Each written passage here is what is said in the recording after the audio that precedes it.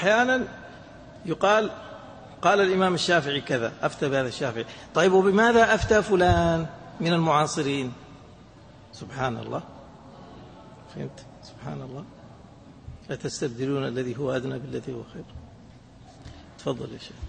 لأن هذه متضمنة ترى إهانة للسابق ومتضمنة أيضا مش إهانة قضية إهانة إن شاء الله ما فيها لكنها متضمنة الانتقاص للسابق ومتضمنة لتعظيم لهذا المعاصر وتقديم له على السابق. وهذا ينافي صريح العقل قبل الدين.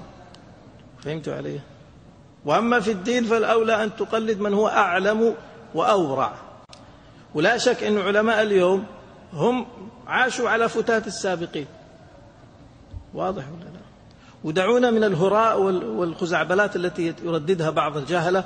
لا لعل المتأخر المعاصر علم ما لم يعلمه السابق. يعني جاءه العلم هكذا بال... عن طريق الإيش؟ مدافع الهاون. طلع فوق ونزل هنا. إيش الكلام الرغي هذا؟ هذا هراء ترى. والله كلام جهل جهل صريح. لأنه الواقع أنه كثير من الكتب كانت أيامهم ولم تصلنا يعني هذا موجود هذا قد يقال لا العالم المتقدم فاتته بعض الكتب. إيه كيف يعني؟ لا الآن مطابع طبعت وزمان أيامهم ما في ما كان هناك يعني فاتهم شيء وصلنا. أنا أقول هذا ما هو ما في مانع أنه يحصل. واضح ولا لا؟ نحن لا نقول أن العلماء قديما هم كالشمس اطلعوا على كل شيء ولا علموا الغيب ولا قرأوا اللوح المحفوظ. يفوتهم فاتهم أشياء. لكن أيضا حتى المعاصرين يفوتهم أشياء. واضح؟ يعني هذا لا يكون مرجح أصلا للمعاصر على المتقدم.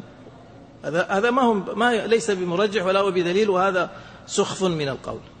لأنه لو أردنا أن نقارن أنا أقطع بأن ما أدركه المتقدمون يعني ما فاتنا أكثر مما فاتهم. إذا كان هناك أشياء فاتتهم ثم نحن أدركناها بالمطابع كما يقال. فأيضا عندنا نحن في هذا اليوم كتب كثيرة فقدت لم تصلنا. الآن نتكلم ونقول حرب فين مسائل حرب فينها؟ أين هي؟ تعرفون أنها مفقودة ولا لا؟